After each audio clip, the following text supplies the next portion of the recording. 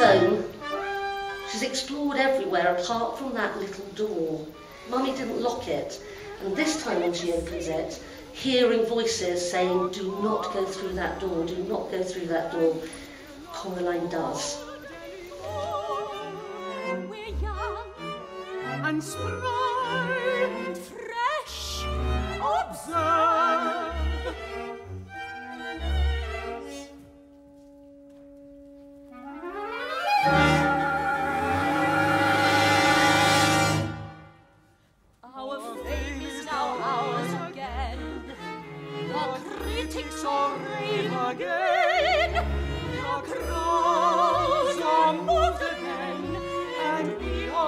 loved again.